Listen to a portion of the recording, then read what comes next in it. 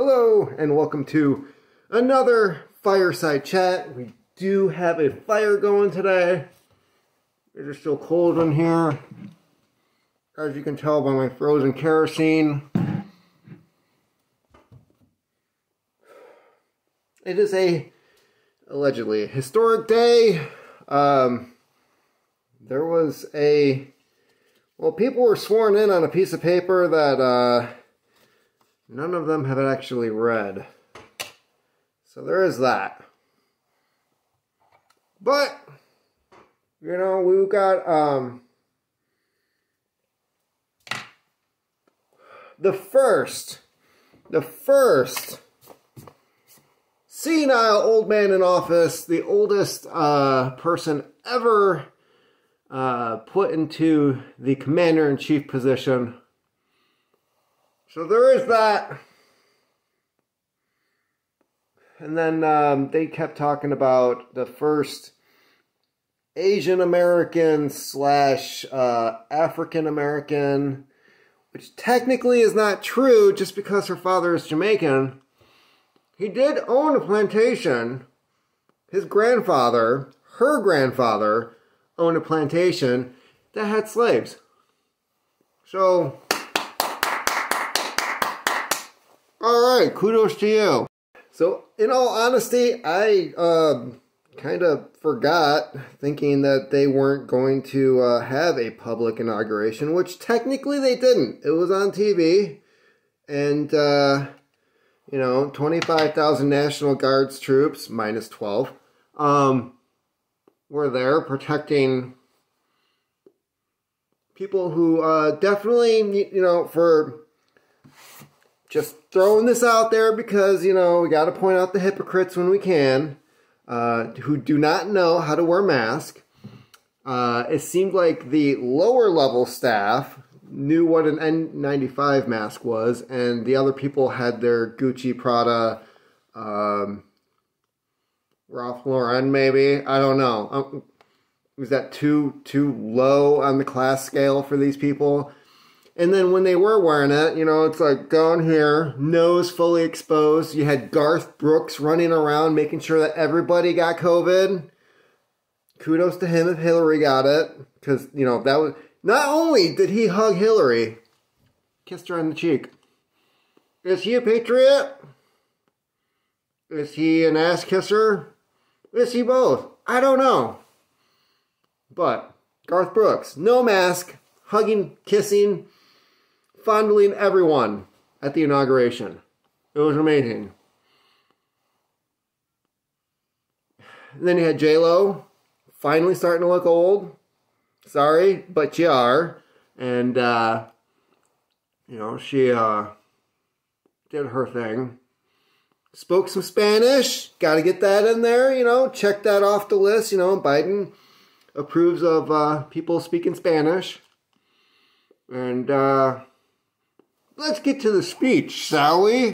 Now, before I go on this long tirade about the things that were said, what we can expect, and how everybody is just full of shit these days, I'm going to need a drink and this is a 2008 bottle of The Novelist, a California white wine. Crack that open. The same night I uh, finished the Bangor Shuffle. Not finished. Posted it on Amazon. It is now available in print and ebook for purchase. If you enjoy good action movies slash books, action adventure. It's probably for you. So, that is available ebook the very very reasonable price of 2.99 because I don't think anybody should be limited to what they can read and enjoy and be entertained with because of cost. And let's face it, it's an ebook. You're not getting a physical copy. Why the hell should an ebook ever cost more than like five bucks? But they do, and it's weird. I don't get it. I'm not the publishers. Don't ask me. Cheers. Yes, this is a plastic hotel mug because I didn't have a way of getting a real wine glass out here without breaking the damn thing. We fancy up here in the cabin. So, half and half mystery bowl. Let's get to it. Heard a lot of mentioning of democracy and saving democracy. Except we're a republic. And as somebody who is a senator, a seat that really doesn't make sense in a democracy. If we were just a democracy, you would really only have the House of Representatives. Because that goes by population, does not go by, you know, making sure that states have equal representation regardless of economic prowess, population, size, GDP, whatever. Uh, it would just be a democracy, you know? Um, but no, we've got these two two sections: House of Representatives, the Senate. Then you got the president. And uh, if we were just a democracy, one of those wouldn't be there. So, a lot of talk about democracy, a lot of talk about how we have to heal, come together, blah, blah, blah.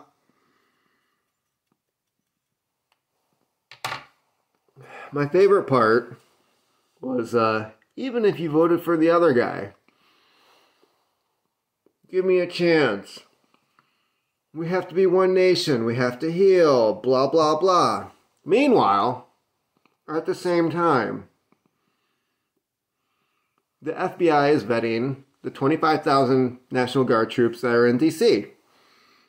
How are they vetting these people? Ah, Twitter, Facebook, text messages. They are checking their text messages on their phones to see what kind of stuff they have said about the incoming administration or if they supported the previous administration. One uh, individual, because he had posted a Gadsden flag, uh, was relieved of his post. Uh, people who had voted for Trump or supported Trump were relieved of their posts, sent home, not allowed to work in D.C. while this other dude is being inaugurated. Okay. So nothing says healing like telling people that they're not allowed to do their job, that they, you know, also swore to uphold the Constitution. Uh, you're not allowed to do your job because the other person who is rightfully elected, like they're saying this current president, Biden, was rightfully elected, uh, nothing says it's a good time to heal like saying you're fired because you like that guy. Interesting. So, the FBI is running around like the Stasi. They're searching through Instagram, Facebook, Twitter, your text messages on your own personal phone because, hey, you know, it's all kept. Snowden warned us about this, right? If you have any any allegiance or agreement with the other party, you're the enemy of the state now. Yay. So where? Where do we go from here?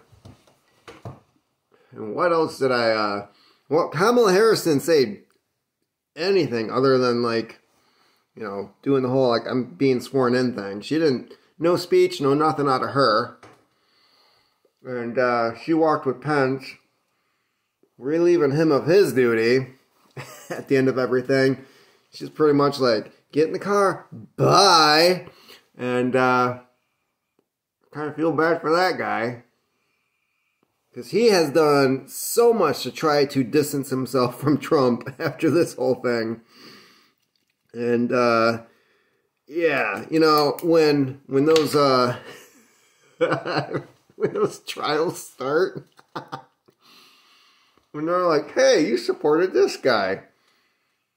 Trump's, you know, Pence is probably going to be like, "Well, you know, I was I was there to like balance things and make sure I didn't do anything stupid and uh,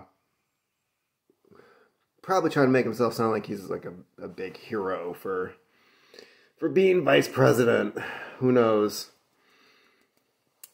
And uh man, okay, so Steve Bannon was pardoned.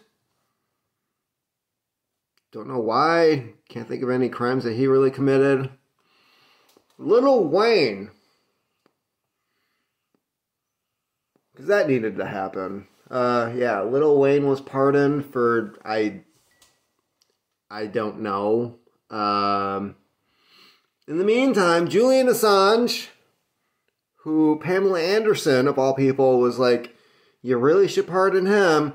Uh, no, Trump didn't do that. Trump didn't um, pardon Snowden, which um, you know, gotta say it, makes him a complete failure, loser. In my book, he had four years to get something like this done. And uh, even at the last minute, when Tucker Carlson, Pamela Anderson, who knows? Who knows how many other people were like, Julian Assange, for whatever reason, I don't know. I think what it really came down to is Mitch McConnell saying if you if you pardon Assange, we will impeach you and convict.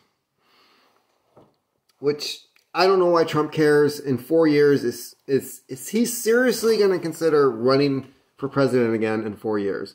I highly doubt it. He'll be like eighty something at that point. He'll be on his fourth or fifth wife. Maybe he'll have syphilis by then. I don't know. But it just pisses me off that, you know, could not get that done. Uh, for somebody who talked about draining the swamp and setting things right, yeah, that didn't happen. So, Assange, still destined to just uh, rot overseas for for no reason which is complete BS. In other news, the collapseexperiment.com uh, still seeing higher traffic. I'm I'm actually pretty surprised. Uh, you know, uh, I think it all started with a movie review, and people started checking out the other articles, and were like, "I like what this guy has to say," and um, yeah, traffic's been high ever since. Huh volume two of uh, From the Cabin is up and posted. There is one story I uh, I left out. I talked about it previously about the doctor who died after getting the COVID vaccine. Because I wanted to do a little more research into that before I wrote about it. I did do a post on uh, you know, the FBI working as uh, Biden's personal Stasi, because that's a thing. It's it's all happening now. So yeah, be careful about what you post and what you like and who you are, and heaven forbid you're a straight white man. Um,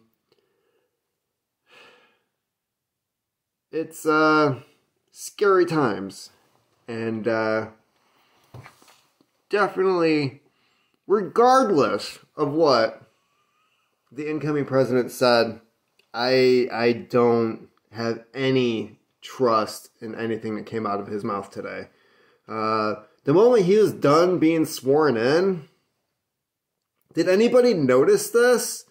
Where he was, uh, he's standing there, and he's just kind of like, uh, uh. and then his wife comes and hugs him, and he's just kind of like, "Oh yeah, yeah, yeah." Uh, uh, it's like taking Grandpa out for dinner at Old Country Buffet, and at the end of the buffet, he stands there with his tray, trying to remember where this food came from, where he was, and then realizing, I don't know where I'm sitting. That's what it reminded me of. The clock is ticking. And I asked the question How long until Kamala Harris smothers Joe Biden with a My Pillow? And they frame the My Pillow guy and say, well, we know you're conspiring with Trump. Why just mother Biden to death? And we can have the first female descendant of a slave owner, Asian American, prosecuting attorney who put black people in the prison. Uh, yeah, um, yeah, then we can have that for president. Because, you know, after, after all the riots, BLM complaining about, you know, the improper treatment of black people in the United States, yeah, that's that's who you want in office. And they wonder why nobody from the administration wants to talk to them. Who would have thunk it?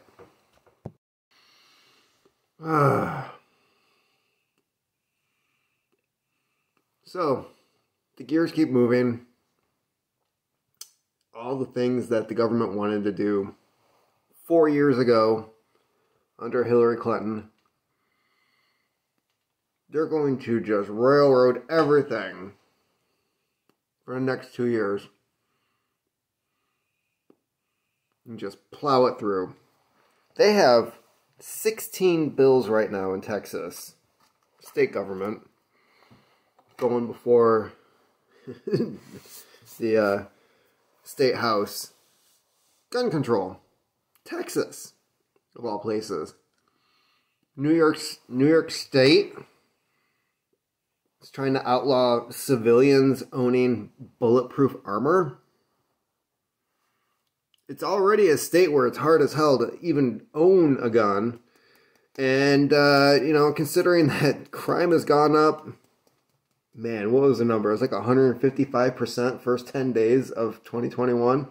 Uh, gun crime in New York City has gone up that much. And you can't own a. They're trying to make it so you can't own a bulletproof vest. This is the uh, the weird, weird stuff that that's coming our way. If you're in the military and you hold the wrong opinion on stuff, bye. Pretty soon, uh, you know, the FBI is going to be looking at their own people. That's going to get interesting. You know, during the Cold War, the East Germans, yeah, they had their uh, basically their homeland security, uh, the Stasi, running around from the 1950s all the way to the fall of the USSR. So what, 90, 91? And uh, these guys are running around. People are disappearing. If you wrote, if you're a writer and you wrote an article not in, not making the government seem as great as it was, you'd disappear. Family members would disappear. Neighbors were turning in neighbors for the sake of, well, if somebody turns me in, at least I can say that I supported the state. Not that they give a shit once you get hauled in. Millions of people disappeared during that time. And it wasn't until the East German government fell that all those records were released as to what happened to everyone. And for a lot of people, they still don't know. So, what would that have been like if we had social media? If we had cell phones that tracked our every movement? Listened in on our conversations? And I know some of you are out there like, dude, why are you talking into your phone, making this video, pointing all this shit out? Because I already know what's coming. I don't really give a shit. It's like, how important am I? Well, I guess it depends on how bored these people get. So, with COVID, with the Great Reset, with Agenda 21, blah, blah, blah, you look at China, you see the face recognition software, the social credit score, the tr- movement tracking of people, concentration camps, did I mention Germany is now uh, forcibly detaining people who don't adhere to the lockdown? And they actually use the term detention center. That's like one country that should definitely stay away from center, detention, uh, any type of camps. Like, these are not words that the uh, German government should be uh, talking about after what happened there repeatedly. Um, but yeah, that's that's where Germany is going with their lockdowns, and um, there was also talk in New York of uh, yeah, there's a bill going before the state government in New York that says that they can detain you if they think you even came in contact with somebody or something which may have had COVID.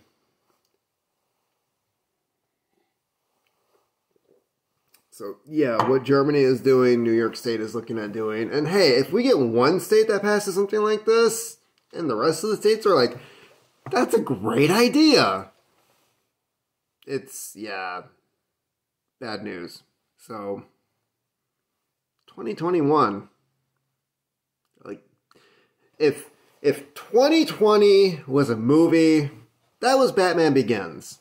You know, that was that was where we're introduced to the vi- villain. We have yet to really see a hero, and uh, now I think we're going into the Dark Knight, and things are going to get really messy. And hopefully, hopefully, 2022 is way, way better than Dark Knight Rises because that movie sucked. It was three movies thrown into one. It didn't make any sense. Just, ugh. Horrible piece of crap. And in all honesty, like, wasn't Bane really kind of the, the hero of that? I mean, aside from the the weird whole like bomb thing, like counting down and the whole city was going to be destroyed for like absolutely no reason. He's holding everybody hostage, but then there's like this deadline for when this bomb is going to go off. Not one of Christopher Nolan's best films. But hopefully 2022 is is not that. Anybody could really do better than that. But I have a feeling this is going to be a weird epic year. We're going to see a lot of horrible stuff uh, we're going to see more surveillance, more censorship, um, more people thrown off of the the internets, as they say around here, and um, yeah, people are definitely going to lose their First Amendment rights, and uh, you know it's it's weird when I talk to people who are liberals slash Democrats. Let's just say they voted for Biden um, whenever I bring up like the whole censorship thing, they're like, well, they're private companies. And I'm like, isn't that usually like a Republican talking point? So that's about it for me.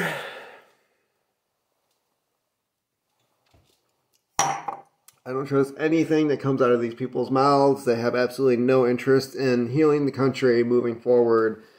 We're going to see like this whole backslide of shit coming our way, and um, yeah, it's going to be absolutely horrible. And and you know, you want to know what's coming? Just look at the uh, Cultural Revolution of China. That's what's going to happen. All of a sudden, there's going to be like these weird makeshift courts. People are going to be brought up, and they'll be like, "So, why'd you vote for the Orange Man, who's bad?" And it'll be like, it's better than Hillary. Come on, you guys didn't even vote for her. then they really won't have a counter argument other than you just shouldn't have voted for the orange man because he's bad.